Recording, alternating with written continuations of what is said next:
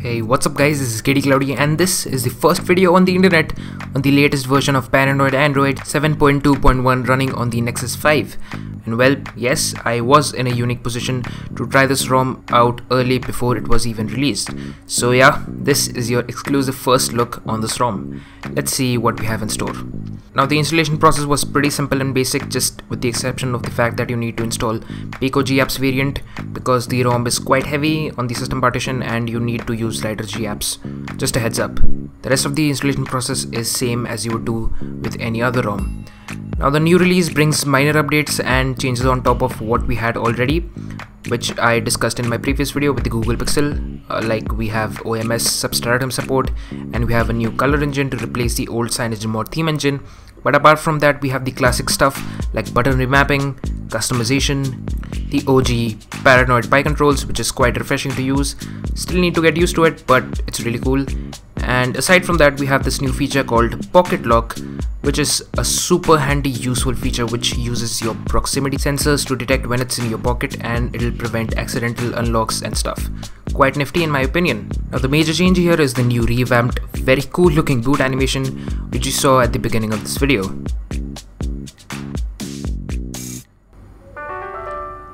That sweet sound though. Our performance was really really smooth buttery smooth and Paranoid Android is quite famous for that stuff.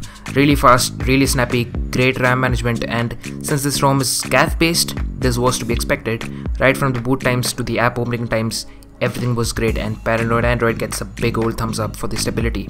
And battery life seemed to be on point as well. 3 to 3.5 hours of screen on time at a stretch on a single charge with a day full of YouTube, Snapchat, Twitter and Instagram. Now I didn't find one single bug in this ROM which is really strange in a good way. Uh, there are occasional lags and freezes, which is okay.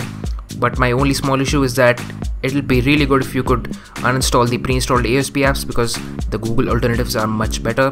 But the PA browser is really good.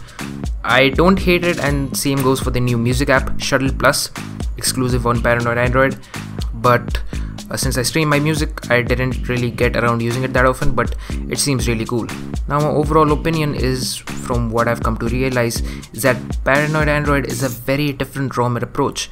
Like, you might complain about the fact that it doesn't have the Pixel UI or the other ROMs have more features, but it all comes down to one single word the experience. Yes, it doesn't have the Pixel UI, which means that it has its own unique and original user interface and experience the smooth animations, color scheme, the on-the-spot controls, the really sweet wallpapers make the ROM feel simple, natural and elegant.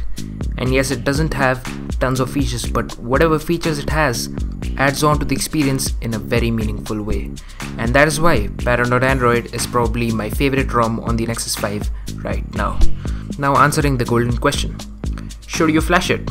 Well, if you want a stable, clean, smooth experience on your phone, definitely go for it. You will not regret installing it. But yeah, for me, I'll be having this loaded on my Nexus 5 until Android O comes out.